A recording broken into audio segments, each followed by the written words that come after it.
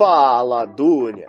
Fomos no show de stand-up da Zomozone na Avenida Vergueiro. Chegando lá, uma entrada bem bonita e logo na recepção, alguns dos narguilhos e roche da Zomo em exposição com uma decoração muito bonita. Dentro do espaço, a decoração segue o mesmo padrão com quadros, jogo de luzes, tornando o espaço bem aconchegante e propício para uma boa sessão. Pegamos o camarote que custou 44 reais com o Open, e aí nós temos nosso lindo DJ Caio e o gato do Mion fazendo aquela pub pro Dunia. Pedimos os nossos primeiros roches que veio servido no narguilé da Zomo Zona e dois Amazon Luxury.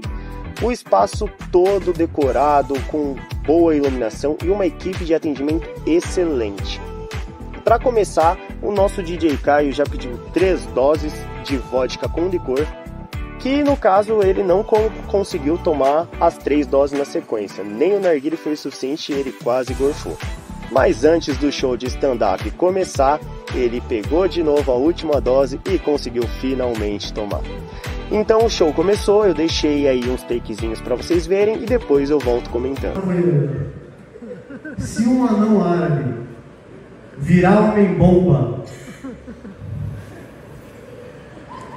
ele vira uma piririnha. A gente é diferente. A gente foi uma narguilha de pera. Sim, teve piada com o anão e com o narguilha. E no final consegui tirar uma foto com todo o elenco.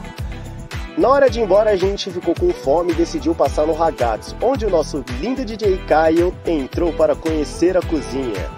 E não satisfeito, ainda saiu de lá falando com o gerente como se fosse um grande empresário. se gostou, deixa o like para mais vídeos assim.